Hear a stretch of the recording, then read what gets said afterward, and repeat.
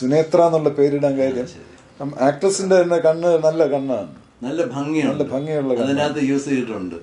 ആ ഗംഭീരമായിട്ട്. ഒരുപാട് സംഗതികൾ കണ്ണിലൂടെ തന്നെയാണ് അവർ കമ്മ്യൂണിക്കേറ്റ് ചെയ്തത് ആക്ടിങ് എന്ന് പറയുന്നത് ഒരു ഒരു തൊണ്ണൂറ് ശതമാനം കണ്ണിലാണ്. ആ കണ്ണിൽ കറക്റ്റ് സാധനം വന്നില്ലെങ്കിൽ പിന്നെ എന്ത് ചെയ്താലും ഇത് കിട്ടൂല അതുകൊണ്ട് കണ്ണ് ഭയങ്കര ഇമ്പോർട്ടന്റ് ആണ്. അപ്പൊ ഈ സിനിമയിൽ അവർ വളരെ നന്നായിട്ട് കണ്ണ് യൂസ് ചെയ്തിട്ടുണ്ട്.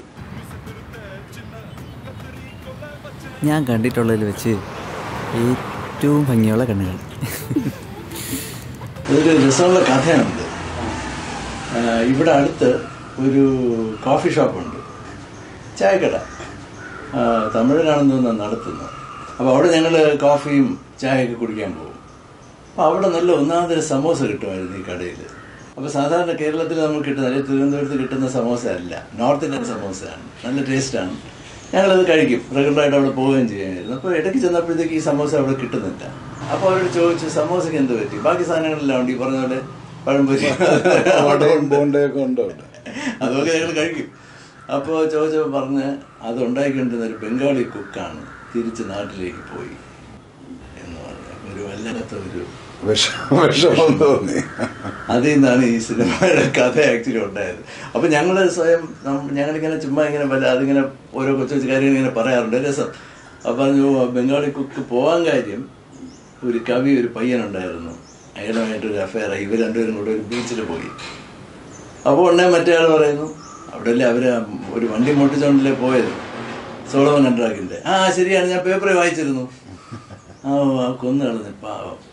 ഇതാണ് ഞങ്ങളുടെ കഥ. ലൈഫിനെ കുറിച്ചുള്ള ഞങ്ങൾ ആലോചിച്ച് കൂട്ടിയ കുറേ സംഗതികളും എക്സ്പ്ലെയിൻ ചെയ്യാനായിട്ടാണ് അത് എടുത്തത്. ഈ ക്യാരക്ടേഴ്സ് നാല് മെയിൻ ക്യാരക്ടേഴ്സ് ഉണ്ട്. അവർ പല കാര്യങ്ങളും പറയും. അവരുടെ ലൈഫ് ലൈഫ് സ്നേഹം പ്രേമം മരണം ഇതിനെക്കുറിച്ചൊക്കെ ജീവിതത്തിനെ കുറിച്ചൊക്കെ പറയുന്ന സംഗതികളാണ് ആക്ച്വലി ഈ സിനിമ കഥ അതിനെ ഇങ്ങനെ ഒരു നൂൽ പോലെ. എനിക്ക് കടൽ ഇഷ്ടമാണ്. ഇതായാലും മതി. ഇന്ന് നിന്റെ സ്പെഷ്യൽ ദിവസമല്ലേ? നമുക്ക് ദൂരെ എവിടെയെങ്കിലും തന്നെ പോവാം.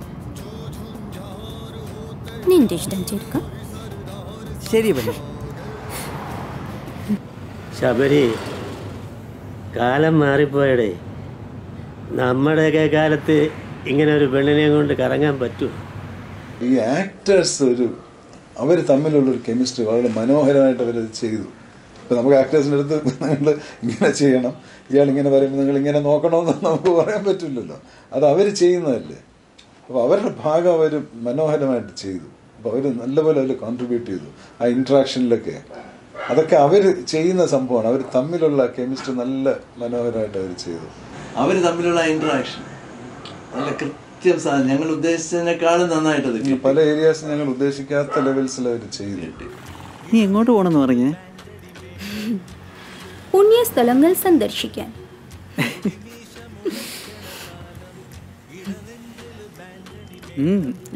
പുണ്യസ്ഥലം തന്നെ. ഞങ്ങൾ ആക്ച്വലി പ്രിഫർ ചെയ്യുന്നത് ഞങ്ങൾക്ക് ഒരു ഗ്രൂപ്പ് ആക്ടേഴ്സ് ഉണ്ട്. എല്ലാ ഫിലിമിലും അത് തന്നെ. ഞങ്ങളുടെ ആദ്യത്തെ ഫിലിമിലെ മെയിൻ റോൾ ചെയ്ത കലാധരൻ ചേട്ടനാണ് ഇന്ന് വരെയും അതുപോലെ തന്നെ നീന ചക്രവർത്തി എന്ന് പറയുന്ന ആക്ട്രസ് ആണ് മറവിയിൽ ചെയ്തത് ഇതിനു മുമ്പ്. പക്ഷെ അതിൽ മലയാളി ക്യാരക്ടറാണ് ചെയ്തത്. നമ്മുടെയൊക്കെ അവസാനം ഇങ്ങനെ തന്നെ അണ്ണന്റെ ഇങ്ങനെ ആയിരിക്കില്ല അണ്ണ ഏതെങ്കിലും വലിയ ആശുപത്രിയിൽ എയർ കണ്ടീഷൻ ചെയ്ത റൂമിൽ നല്ല സുന്ദരിമാരായ നഴ്സുമാരൊക്കെ അണ്ണൻ അങ്ങ് കെട്ടിപ്പൊതിഞ്ഞങ്ങിട്ടേക്കൂലേ പോടാ. ഈ നാല് ക്യാരക്ടേഴ്സ് ആക്ച്വലി ഞങ്ങൾ അത് ഒരു കൈൻഡ് ഓഫ് ക്യാരക്ടറൈസേഷനെ കുറിച്ചുള്ള ഒരു എക്സ്പ്ലോറേഷനാണ് നമ്മൾ നാല് തരം ആറ്റിറ്റ്യൂഡുള്ള നാല് ക്യാരക്ടേഴ്സിനെ ഉണ്ടാക്കിയതാണ്. എന്നിട്ട് അവർ ചേർന്ന് ഞങ്ങൾ ഈ സമോസ കഥയും കൂടെ കിട്ടിയല്ലോ. ഈ നാല് പേരെയും കൂടെ ആ കഥക്കകത്തോട്ട് കയറ്റിയതാണ്. അപ്പോൾ നാല് ആറ്റിറ്റ്യൂഡ്സ് ഉള്ള നാല് ആളുകളാണ്. അത് നമ്മൾ ശ്രദ്ധിച്ചാൽ അത് മനസ്സിലാവും. നാല് പേരും കംപ്ലീറ്റ്ലി ഡിഫറെന്റ് ആറ്റിറ്റ്യൂഡ്സാണ് ഈ പുറയിൽ നിന്ന് വരുന്ന രണ്ട് ക്യാരക്ടേഴ്സ് അവർ ഒരേ പണി ചെയ്യുന്ന ആളുകളാണ്. ബിൽഡേഴ്സാണ് ഒരാൾ അസിസ്റ്റന്റും മറ്റേ ആൾ ഓണറും സീനിയറും ആണ്. ആ, ഗുണ്ടകളും കൂടാണ് പക്ഷെ എങ്കിലും അവരുടെ ആറ്റിറ്റ്യൂഡ്സിന് വ്യത്യാസമുണ്ട്. ഒരുപോലത്തെ രണ്ടാളുകളല്ല അതിന് വ്യത്യാസമുണ്ട് അവർക്ക്. അപ്പോൾ ക്യാരക്ടേഴ്സിനെയാണ് ഞങ്ങൾ അതിൽ ഇമ്പോർട്ടൻസ് കൊടുത്തത് ആക്ച്വലി നമുക്കും ആഗ്രഹങ്ങളൊക്കെ ഉണ്ടായിരുന്നു. പക്ഷേ ഒരു പെണ്ണിന്റെ അടുത്ത് പറയാനുള്ള ധൈര്യം ഉണ്ടായിരുന്നില്ല. അങ്ങനെയൊക്കെ ചെയ്തവരും ഉണ്ടെണ്ണ നീ ചെയ്തിട്ടുണ്ട? ഒരിക്ക ഞാൻ ഒരിക്കൽ ഒരു ലേഡീസ് ഹോസ്റ്റലിന്റെ അടുക്കള കയറി.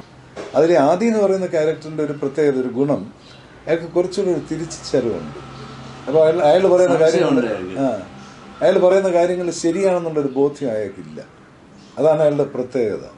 ഇപ്പൊ സോളമനായാലും സോളമനും സോളമൻ പറയുന്നതെല്ലാം ശരിയാണെന്നൊരു ബോധ്യമുണ്ട്. ഈ ആദിയുടെ ഗുണം എന്ന് വെച്ചാൽ അയാൾക്ക് അങ്ങനെയില്ല. അയാൾക്ക് തോന്നിയ കാര്യങ്ങൾ അയാൾ പറയുന്നു. അത് വളരെ ശരിയാണോ എന്ന് അയാൾക്ക് അറിയില്ല. എന്ന് അയാൾ പറയുന്നുണ്ട്. ഇതൊക്കെ ഞാൻ ചുമ്മാ ചിന്തിക്കുന്നതാണോ എന്ന് എനിക്ക് അറിയില്ല എന്ന് അയാൾ പറയുന്നുണ്ട്. ആർക്കെങ്കിലും ഇത് അറിയാമോ എന്ന് അയാൾക്ക് സംശയങ്ങളുണ്ട്. സംശയമുള്ളവർ മാത്രമേ എന്തെങ്കിലും എല്ലാം വ്യക്തമായി അറിയാവുന്ന ആൾ പറയുന്നത് മിക്കവാറും മണ്ടത്തരമായിരിക്കും. ഇതൊക്കെയാണ് ഞങ്ങൾ ആലോചിച്ച് മനസ്സിലാക്കിയ കാര്യങ്ങൾ. എടാ ഇപ്പൊ ഒരു കവിത ഉണ്ടാക്കും. എന്തിനെ കുറിച്ച് വേണം? എന്തായാലും മതി.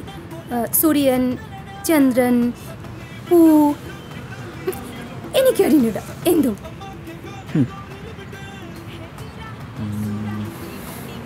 ഓക്കെ. നിന്റെ കണ്ണുകളെ കുറിച്ചൊന്നുണ്ടാക്കാം എന്റെ കണ്ണുകളോ? ശരി. കേക്കട്ടെ.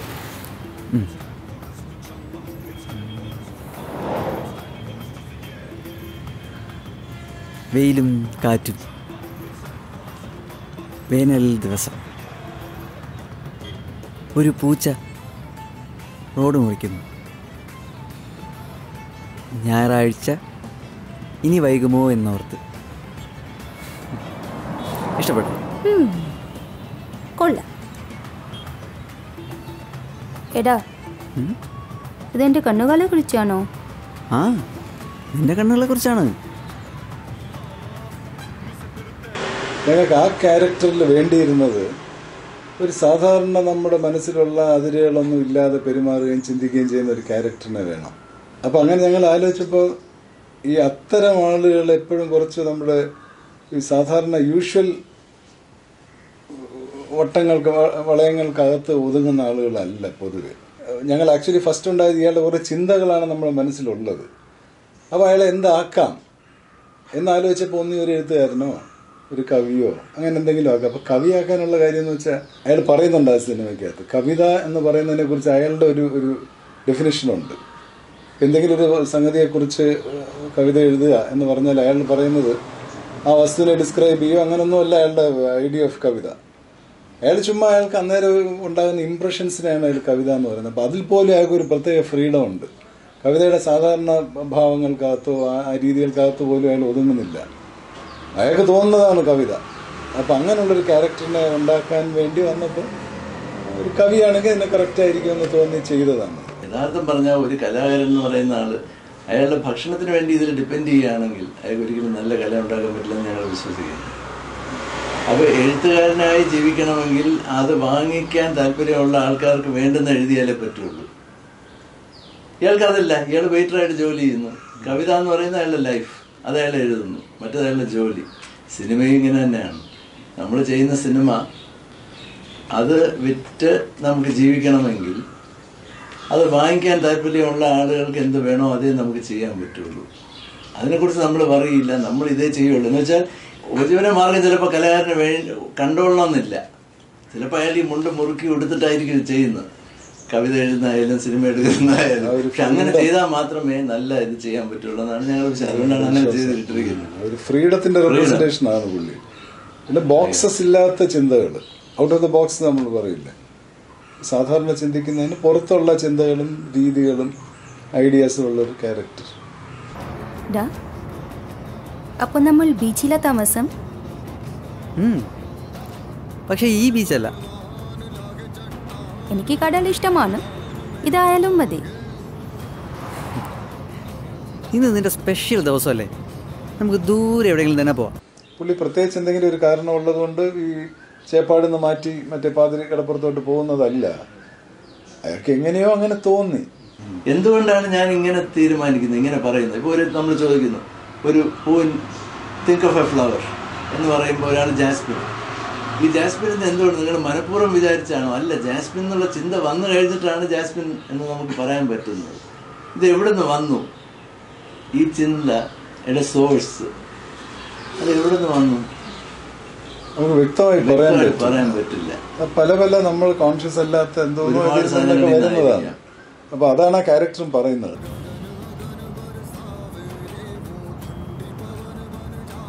നിനക്കെന്തോ ഒരു ടെൻഷൻ ഉണ്ടല്ലോ.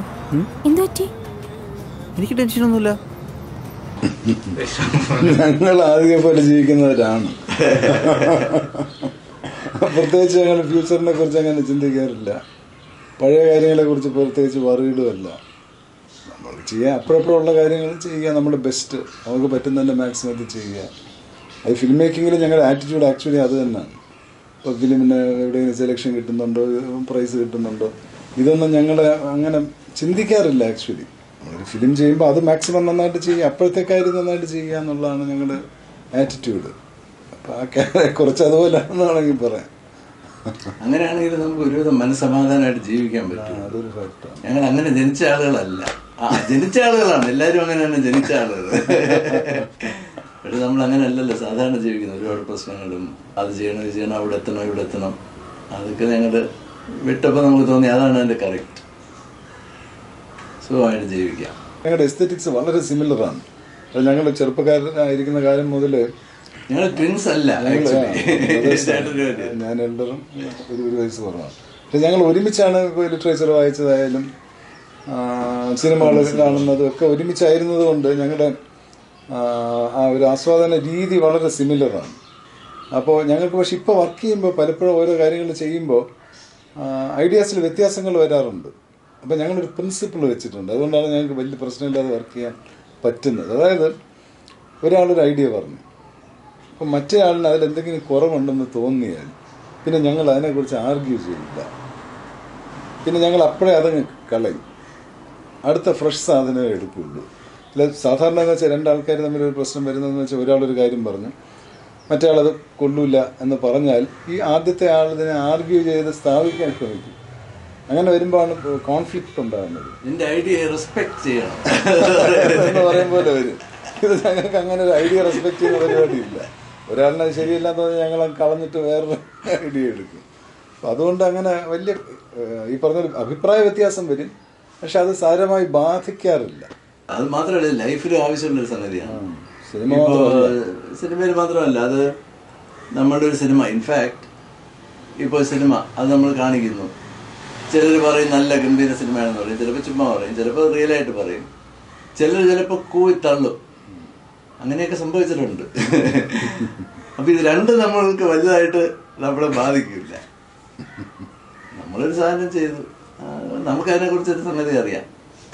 ആക്ച്വലി ഞങ്ങൾ ചെയ്യുന്ന സ്ക്രിപ്റ്റ് ഒരു ഒരു എട്ടാമത്തെ വേർഷനൊക്കെയാണ് വാസ്തവത്തിൽ റീറൈറ്റ് ചെയ്ത് റീറൈറ്റ് ചെയ്ത് അഞ്ചും ആറും ഏഴും ഒക്കെ തവണ റീറൈറ്റ് ചെയ്തതിന് ശേഷത്തെ വരുന്ന സാധനമാണ് ഞങ്ങൾ ഈ ഫൈനലി ചെയ്യുന്നത്. ഫുൾ റിഹേഴ്സ് ചെയ്തിട്ടാണ് നമ്മൾ ചെയ്യുന്നത്. ക്യാമ്പ് വെച്ച് ഞങ്ങളുടെ എല്ലാ ആക്ടേഴ്സും എല്ലാവർക്കും എല്ലാവരുടെയും റോളിൽ എല്ലാം അറിയാം.